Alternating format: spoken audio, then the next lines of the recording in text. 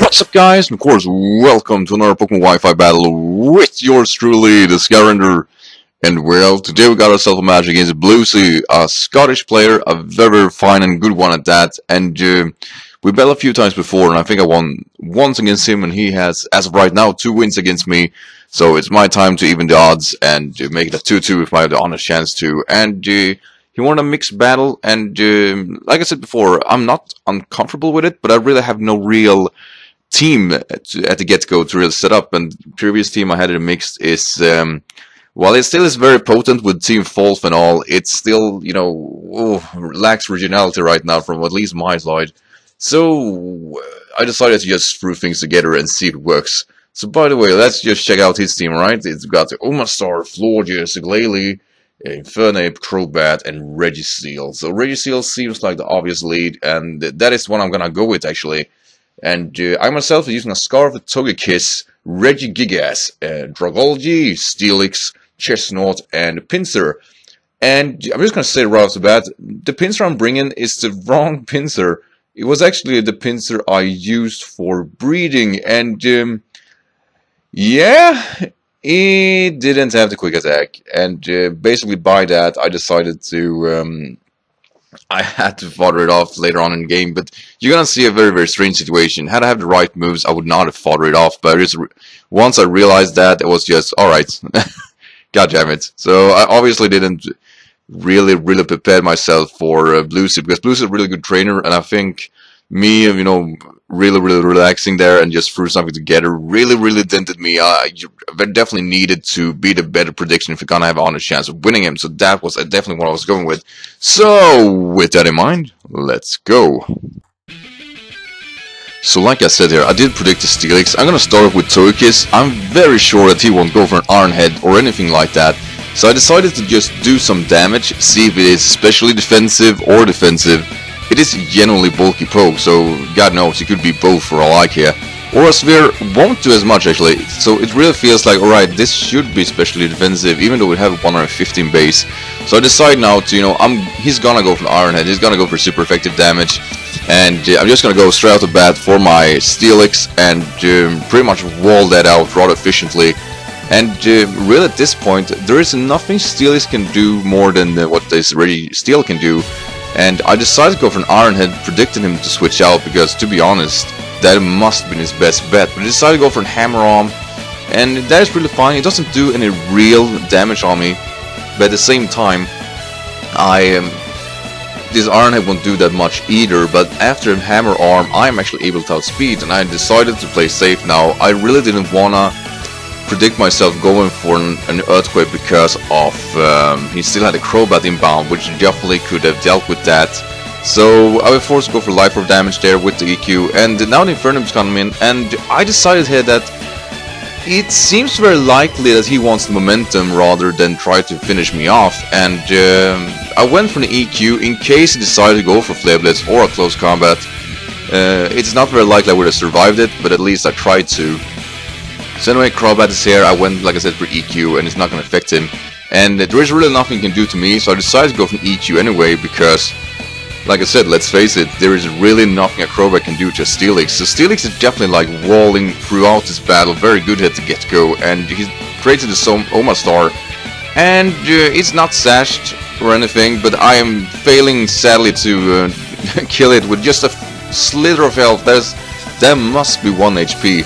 So nevertheless, I decided to stay in, you know, whatever comes my way is going to take me out anyway, and Steelix definitely proven his point, and it's gonna go down. And um, basically here, I just brought the Undertaker, and I actually thought it was Moxie, so yeah. God damn it. So I was really frustrated about this, because obviously Pinsir would have been a nice addition to actually dealing with um, Infernape here, which it is able to outspeed with a quick attack, but obviously it isn't, and I'm gonna side for this off, because I have X-Scissor, Earthquake, and Swords Dance on this. That is everything. So, yeah. It it was terrible. It really was, and um, I, like I said, I had to fire it off because it can't do anything, and uh, it really, really sucks. It really does. So anyway here, I'm gonna bring the Togekiss here because it is Scarfed. I was very sure I was going to be able to outspeed. And uh, yeah, I don't. I actually lack 6 um, stats, or 6 points in speed to actually be able to, to uh, outspeed it. And it's gonna be somewhat crucial here because this Braver is able to take Togekiss out, and that's really fine, but definitely a huge misplay on my part to not really check that out. I was very sure I was to be able to outspeed, and that weren't the case. And Togekiss might be the only like real respond to my, um, or to his Infernape. So anyway, I'm gonna go for Protect, getting as much HP as possible, to be honest, because I'm basically not sure I can take another a Brave Bird from this poke, and uh, I'm actually able to even without the Protect because I do will I will survive with 14 HP. Without Protect I would have 4 HP left if that were the case. So I mean it's not the safest move I've ever done, but at the same time, had I not been able to pull this off, then I would have lost right here and then. it, it is that simple because my I have a Chesnaught on my team, which obviously is not going to work either against the Glalie, nor the Florges, or, I can't really stress this enough, the Infernape, my, my dear god really, Chesnaught is definitely like, it's not made for this battle whatsoever, it's just in the bag waiting to die. So I go for Protect here, hoping for him to go for Explosion. There is no reason for him not to more than Showcase. I, I guess I would go for Explosion, just because, you know, for the lulz, but he's definitely like, do the right place here and uh, decides to take me out, and um, yeah, I won't outspeed anything with my Dragalge anyways, it might as well just go down. And my only like real Pokemon I have now that's gonna, you know, hopefully come through is Regigigas. And uh, this is a set that is in combination with what Flaming Axel was doing way back, and also a combination that I want to try out on my own that is it is not as bulky and only utilized Thunder Wave and um, sadly he got crit here which really really brought me down and I was definitely forced here to go for Drain Punch. Decided to go for an Ice Shard, you know, trying to do the like the last second output of trying to take me out. Of course, without um, uh, without the ability that boosts the ice moves, it will not will fail to take me out. And this Drain Punch does more than 50%. And uh, yeah, I get a pretty nice chunk of HP back, which I really, really needed. I still can't take a Secret Power from that range, we kinda... I maybe can, it's not entirely sure. But he will not decide to sack this poke off, because he's forced to go for an Ice Shard, and I will be able to outspeed and take Drain Punch, of course. It goes to the Delacour, and you know, this is the right move, it really is. I can't do too much against the Florges, I'm not even with the slow start able to outspeed, so I'm actually forced yet again to go for its Thunder Wave and just dent it in any fashion that is possible and then hope for it being fully paralyzed. So yeah, at this point I was definitely stressed out, like there were no real way for me of really getting in there. And the Moonblast of course will do significant amount of damage and um, it really really sucks, it really does and um, it does roughly, was that, I think 55-ish in HP, so I'm actually forced here to go for Drain Punch instead of trying to dent it, because it might as well with another Moonblast be able to take me out, even with Paralyzation. I was definitely hoping for Paralyzation, of course. So Drain Punch, you know, I do score a crit here, so I get 15 HP back instead of 10 like I did previously. And um, it might matter, it might matter in this point, because this Moonblast will be close, but not close enough. And Regigigas, you know, he will find the strength, he will get his act together and retaliating with a return. And um, yeah, that will just shatter the foundation of Earth, really, and will hurt so much and so badly that this Florges is just not able to cope with that. Like you see, the exploding is coming, and Florges is going down. And that was basically, it was so worth uploading this for that, that situation only, uh, to be honest.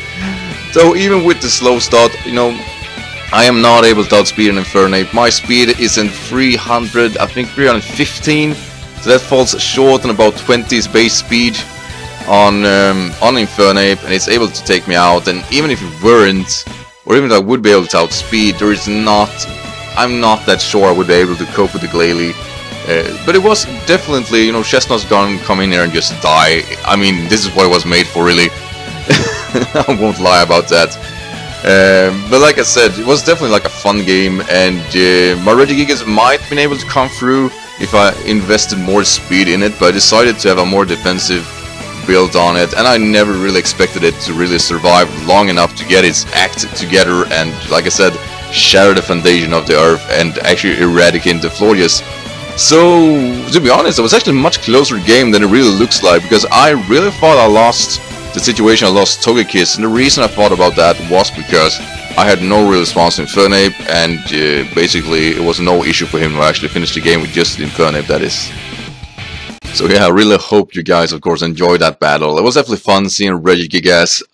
I mean, I can't really stress it enough, that is definitely a Pokemon that has it has obvious issues. That is that it really isn't working. Uh, it has, even though it is one of those legendaries with one of the highest base stats of all, it still has the issue of the slow start, which definitely hinder it from working properly.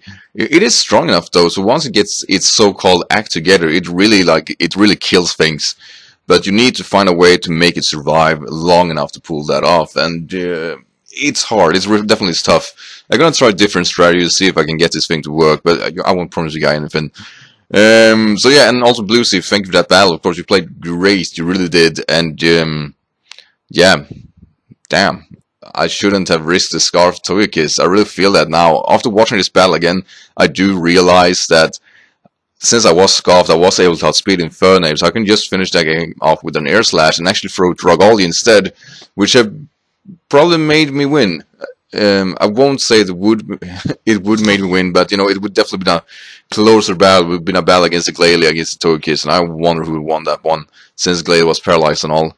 But hey, that that's my issue, and that was my problem to not playing that. I really, really thought that I was able to outspeed, and I think my arrogance there really got the best of me, and Bluezy won fairly. He really played great, and you know had the things going for him, and um, I basically just did the best of my abilities to actually eradicate him, and uh, I fell short as sadly. So it's a free one in his favor right now, and that really sucks. I need to definitely catch up here, and you know I need to bring a real mix tier. So I'm definitely right now trying to define a new mix tier that I can bring in the future. So stay tuned for that. Definitely you, Lucy. I'm looking at you. Not really, like I said, GG. And also, guys, um, quick update. If you stayed this long, then you know Thanks, man. But um, on first, I'm gonna start my search log on my Twitch channel. So I'm going to um, do a little small update before I'm doing that. But hopefully, you guys will be able to join. If you got school or other things doing, that's fine. I'm gonna upload everything on YouTube, and uh, we'll see if I do a, some best of variant. We'll see. But uh, anyway, guys, to thank you as always for watching. Don't forget to leave a like, and if you're new to this channel, don't forget to subscribe. And remember, the sky is the limit. So have a good day, guys, and take care, alright? Bye.